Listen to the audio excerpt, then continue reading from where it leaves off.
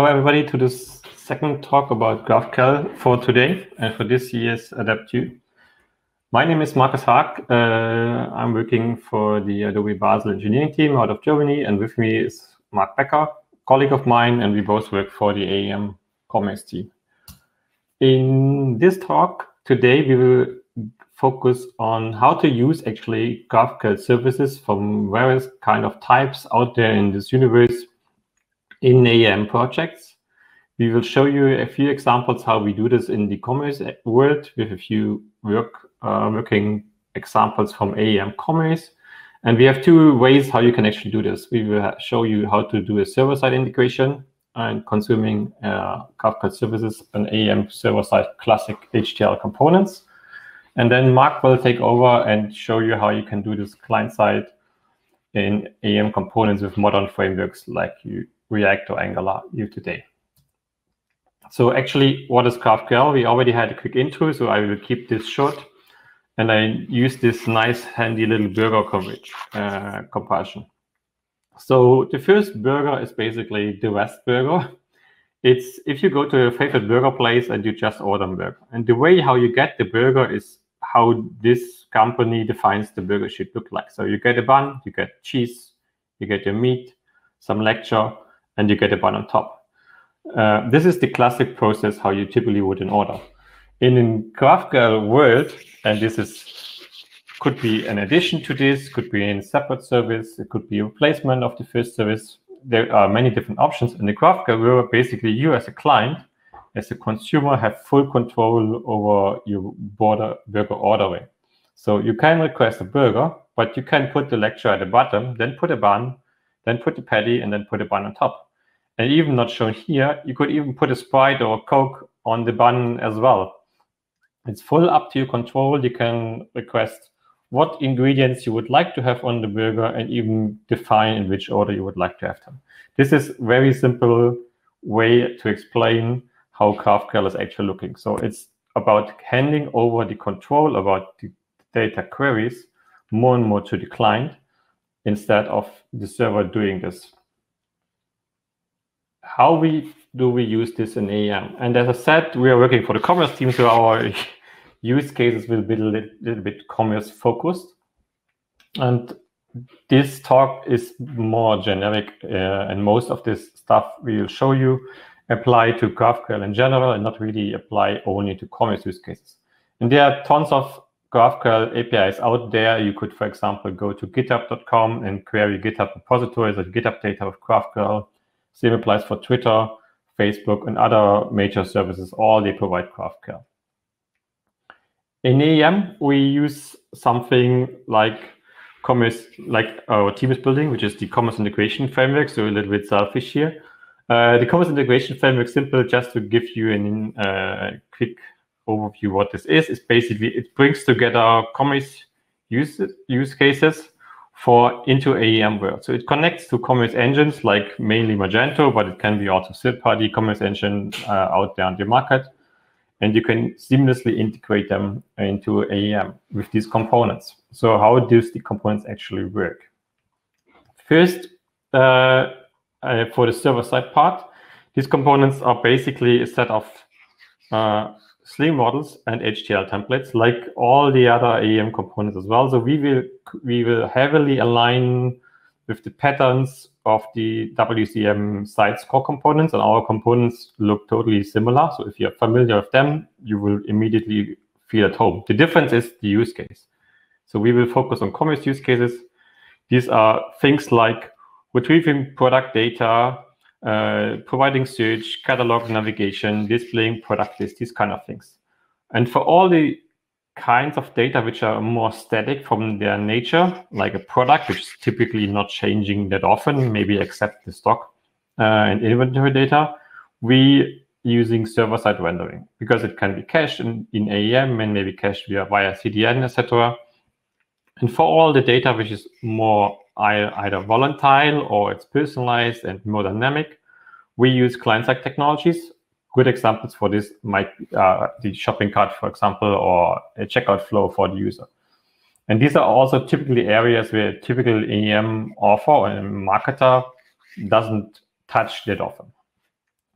the way how this is working, I show you a diagram in a second. Basically we provide a very generic GraphQL client that is linked on board together uh, with a Sling context-aware configuration. So you can have one client assigned to a site or one client to assign to only a subsite if you're building a microsite structure in AEM. All this is possible. A few extra just to complete the CIF part, which are not covered by this talk. Of course, as part of CIF, we will deliver a few of commerce, typically commerce related page templates like a product list or product detail page. We have them in every project and we provided additional stuff like SEO help us to fulfill these requirements and, for example, do nice URL rewritings for product page. How are these components look like? So starting from the button, we have a GraphQL client. As I said, this is generic. It's not decoupled. It's not coupled to commerce use case at all. It's just uh, a GraphQL client. It's technically it's a wrapper on top of the Apache Commons HTTP client, providing a lot of convenient helpers and boilerplate to, do GraphQL queries instead of dealing with low-level uh, low-level HTTP requests. On top of this, we have a set of so-called GraphQL data models. For our use case, they are commerce specific, but they can be uh, specific to any other use cases. And these models are then used by the components, and then you can build the custom components out of these. Uh, and the custom components itself, they can also use uh, the models directly. And if you extend the core components with use cases which are not implemented yet, or which are maybe future and a future roadmap, and you wouldn't like to have them now, you can implement them immediately by just using the GraphQL models. To give you a quick uh, demo how these components look like, that you have at least a little bit understanding what we're talking here, and then we dive into the technical details, how we implement them. Let me switch now to the AEM component library. This is the overview of all the AEM core components. If you know, don't use don't know about this, this is AEM components.dev. And at, if you scroll down in the sidebar, we added the commerce components here as well. Let me start with a very simple one. For one example, for the use case, we have a product teaser. This is a very simple component. It just displays one product and a few attributes. And the nice thing about GraphQL here is, in this case, we really request only the data we need from the commerce system. So with a typical REST get product call, you would get the data which is defined by the server. And if the server returns full description list or list of tons of attributes, you won't need them here and you won't display them here, but it's transferred over the wire. With GraphQL, we basically are telling the server, hey, give me the title, give me the price, and give me the uh, reference to the asset. Compared to another component, which is the product detail component. If you see this component here, it's a full product detail experience, which you typically know from any shopping page out there.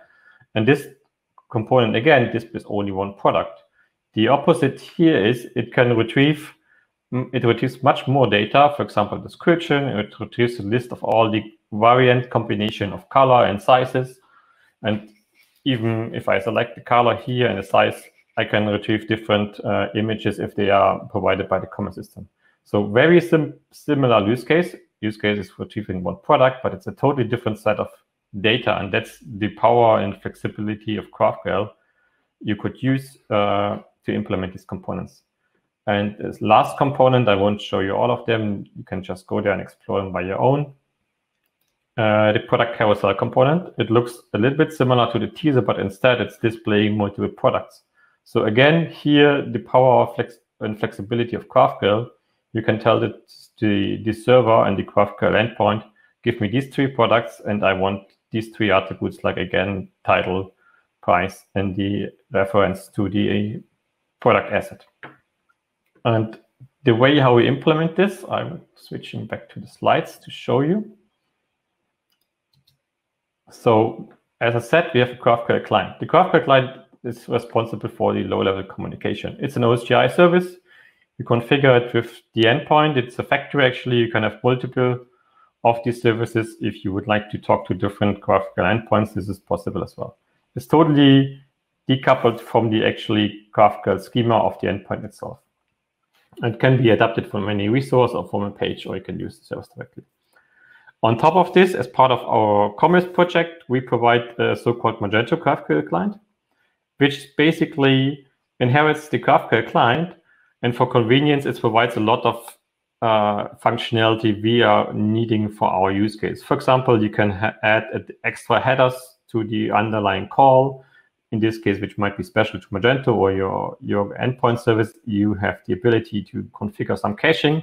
So to cache GraphQL responses, this is quite handy, especially if you have repeating queries like querying a catalog, uh, catalog for example, if you use the catalog and render a catalog structure in your navigation and you have a breadcrumb which renders a similar catalog structure, then these components would maybe uh, request a very similar kind of data from the GraphQL endpoint. Instead of doing this twice, you can have an internal short-lived in-memory caching to reduce the load on the backend system. Optionally, and this is also provided as part of an open source project on GitHub, we have a so-called generator and we actually use this generator to generate the GraphQL models for a schema. So basically, you point it to a schema, and out of the schema, the generator creates an object structure of Java models which are mapping the schema, which is quite handy. I'll show you in a second to work with. And it's typically for Java developer way more convenient than dealing with uh, string long strings of queries directly. For Magento, we do this with every release and also put this into GitHub, but Generate itself is also open source. So if you have your own schema or would like to use this, for example, for github.com as, as an example, you can just go to check out the generator, point it to the endpoint. It does an introspection query on GraphQL to retrieve the entire schema, and then it generates the Java model. So how does this be used? So this is a sample, very simple query from a commerce use case. So we query for a list of products. We do a search for the term shirt. We do a little bit sorting, and then we, for each of the product items, we, we query for the following attributes. So SKU, name, a slug or URL key, last updating date, and the thumbnail URL. So very simple query. Uh, this is typically used, for example, if you generate a product list for a category page or, or, or a search result page. Very simple. And then we have these two ways. So the first way, and this is working for the simple query, you work with plain strings. So you transfer, basically you can copy the query from your GraphiQL or any other GraphQL tool. You can copy it into the, and put it into a string. And then you can work directly with the GraphQL client. The GraphQL client basically needs a GraphQL request, which is just getting string. And since we're working with low-level queries, we have to work with low-level JSON objects for the response. So we're telling the client, hey, if you deserialize the JSON result from the server, what should we do with it? So since we have no knowledge about this query and don't know about the schema, we just transfer, transfer into just plain JSON objects. And if we get a response, we can get the data, and then we can, based on the schema, for example, in this use case, we are getting a JSON object which calls products, which has holds a list of all the products. And this object has a sub uh, item, which is an array, which is items. And this is basically each and every product in this result list gets transferred into an item. And then we can retrieve the attributes, individual attributes from this item. So this is simple and this works for quite simple queries. If you have more complex queries, it's also a lot of code to write and dealing with all the time with strings and need to know the individual names of the field. It's not that nice. So the way how we use this actually in the CIF core components is we using the model classes. And this is reflecting or showing the very similar query, but instead of using plain text, using model. So I have a small helper function here, which is able to generate me a query object, which is querying for product. And then I have a list of attributes I put here, or even for the thumbnail is a sub object with one attribute. So I can Simply by using this builder pattern, I can construct my query quite easily, just adding all the attributes I want. So I don't need to copy and paste strings. I don't need to know all the details about how the schema, because I can just use Java and code completion of my IDE, and it provides me all of these. Then I construct the search query itself. So it's one query with the same search should. I use a so-called query uh, query object, which gets it's specific to the query itself. I generate a query, a product query definition, which is basically taking the initial query, which is returned by uh, this helper function, and combine this with the filter I provide. And then I use, again, the GraphQL query to execute. So I do query to string, which will return me the same string as I had before. The difference here is for the response, I now can work with objects because they are also generated for me out of my out of my schema. So I get a query object from the query. Again, I get the data, but now I know this is a product query because I constructed this with the objects and I can do uh, a get products and get items. And from each items, I can directly do get URL key or get name or whatever. Uh, this is way more easy and way more handy to do for a Java developer, obviously. For simple queries, the first approach works as well. For more complex queries, this is the way we decided uh, it's for us and for our team and for our use case, it's way more easier. I pause here. This is the way how we use GraphQL in our CIF core components. Quite easy, not much code to write. And now I will hand over to, to Mark, who will explain how we do GraphQL for client-side components. Okay, thanks, Markus. So let me continue with the client-side part here.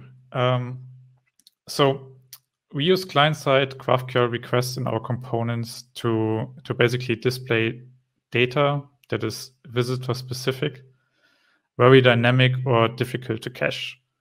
Um, for example, think about everything that requires a user to log in first.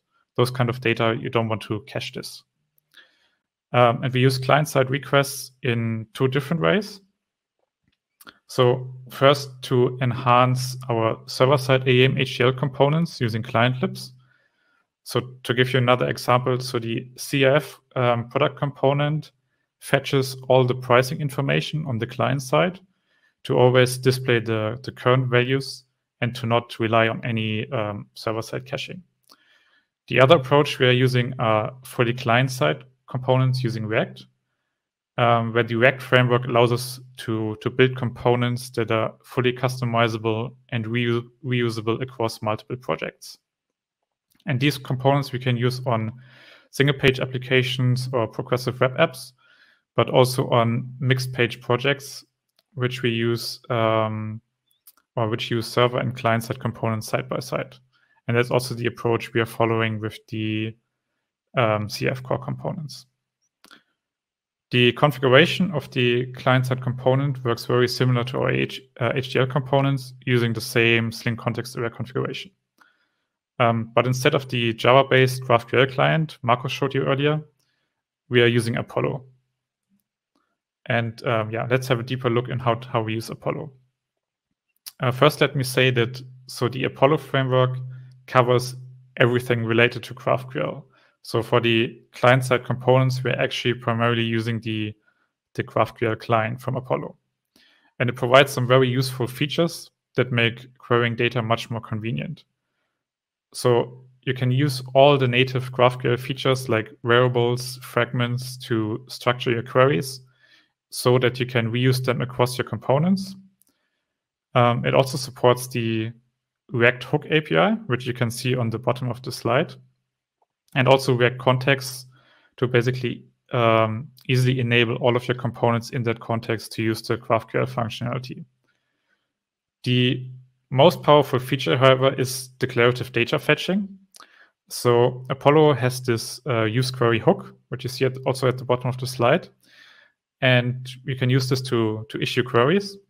And when you do this, it takes care of the state of the complete state of the query execution, meaning it provides you information about the current loading and error states, and of course, the past response data.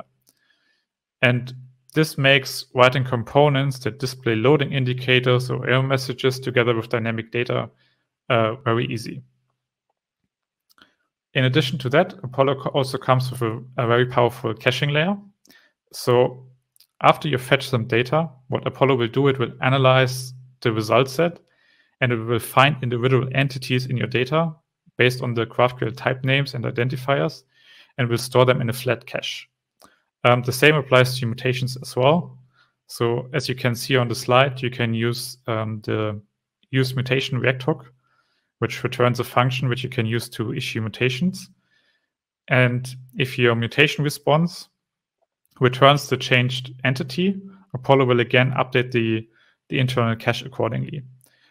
And based on these caching changes, Apollo actually knows which queries and therefore which components are affected and will automatically trigger a re-rendering. Um, for more complex operations, you can also explicitly tell Apollo to refetch certain queries after issuing a mutation. Um, in addition to the in-memory caching, you can also configure Apollo to leverage HTTP uh, level caching based on or using GET requests. The, the next point I would like to point out or talk about is uh, component customization. So the, the pattern we're using to, to customize components is a composition of the logic, the state, and the rendering part of a component. So the queries you have seen on the on the previous slide, you can consider this um, the logic, and together with the with the data, the state of a component and we can encapsulate both the state and the logic into a React context. On the slide here, you can see the, um, the card context here. That would be a context which provides functionality to uh, add and remove products. It also provides a list of products which are currently in the card. Um, a second component can then consume that context. Here in this case, it's the MyCart component, and it can take care of the, the rendering part. And this pattern allows you to easily customize how your component is rendered. And it's very similar how you would overlay HTL templates in AEM. Um, and I would like to give you a quick demo how this can be done. So first, this demo is based on the um, Venia storefront project. That's a sample project generated by the AEM project archetype for CIF, and you can find this on, on GitHub so if I jump into the project, so this is like uh, a small uh, React project inside the, the Venia storefront. And this React project here takes care of rendering um, all the client-side core components to the pages. And as you can see here in the in the upper part, the uh, client-side CIF core components are available as an npm package, uh, so you can easily reuse them in your own projects in the in the actual rendering part here, you can see different contexts which make the logic and state of certain features available to all the components inside. So, for example, you have here cart-related contexts which can be used by, um, for example, the shopping cart or the card trigger components. We have a um, user context which provides functionality regarding user login, password resets, things like this. Um, you can also see the Apollo context, which um, wraps around all the other contexts and components and makes the GraphQL functionality available to all of them. Um, here I also have a custom component. That's the my, my card trigger component, which replaces an, an core component. And let me show you how this um, can look like. Um, so in this component, it's a very simple component where we just customize a bit the, the rendering. Um, you can use a hook to, to consume the context, and you can basically get everything out of the context which you need. Um, so here I'm currently interested in the quantity of products in the cart. And we have like a dispatch function which allows you to, to trigger certain events for the cart. And what this co component is basically doing it, it renders a button and when you click on this button, uh, it opens the, the card and has a label called My Card and yeah, displays the current quantity um, yeah, in the label. And yeah, so this custom component has basically access to the same logic and state like the original core component. Um, yeah, and you can basically do the same thing here. And to show you this, how this looks like on the on the page. So this is the Venia sample storefront and you have the custom component here on the top right. And if you click on it, it opens the shopping cart. So very simple.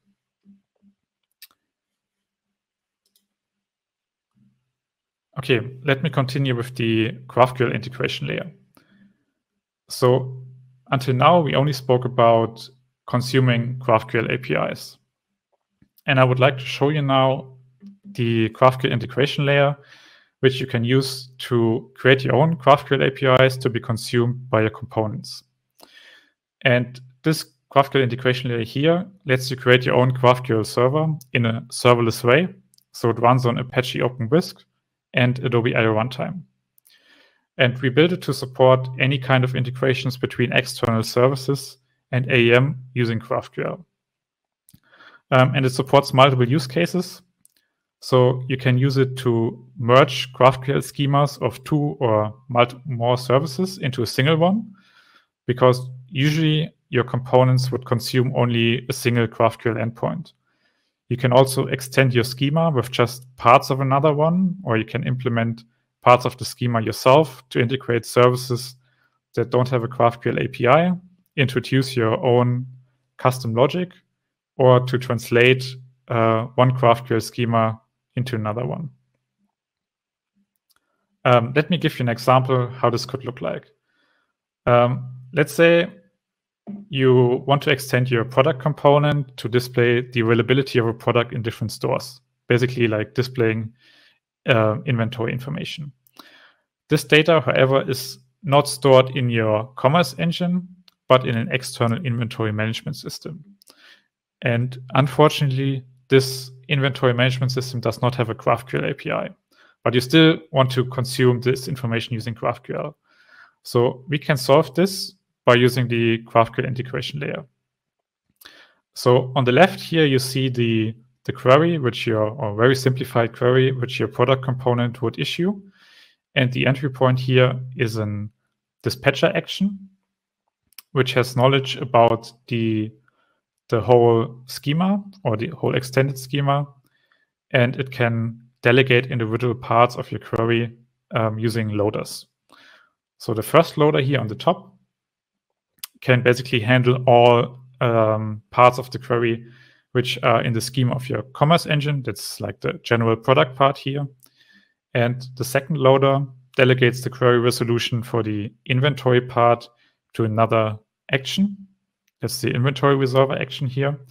And this action can uh, yeah, resolve the query by making a request to the REST API and fetching the data that's requested. And after all parts of your query were resolved, the dispatcher action will combine the results and return a response to the client. So you can see this project here, our project provides an easy and very scalable way of implementing GraphQL servers to integrate external services with your AEM project. Um, give it a try. So this project, together with everything we showed you today, is completely open source, and you can find the GitHub link at the end of the slides. Okay, so this concludes our presentation, and now we have time for questions. Thank you. Yeah, there's already one question in the questions part, and this is about mocking framework.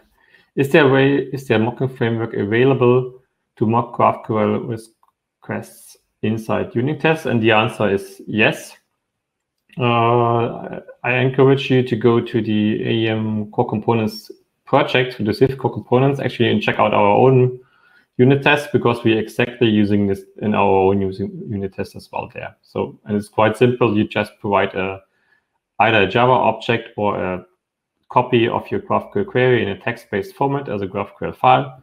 And then you can use this in your unit test as well without any real endpoint or anything like that.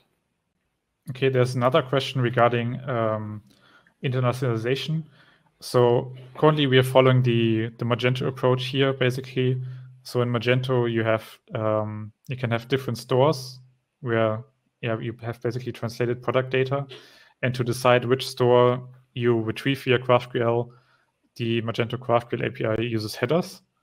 Um, there might be other implementations, but for now, for the CIF core components, we're using the Magento approach by selecting a, a store using headers. Any other questions? Otherwise, I would say thank you. We are already a little bit over time. Okay, good. Thank you. Then enjoy your lunch break.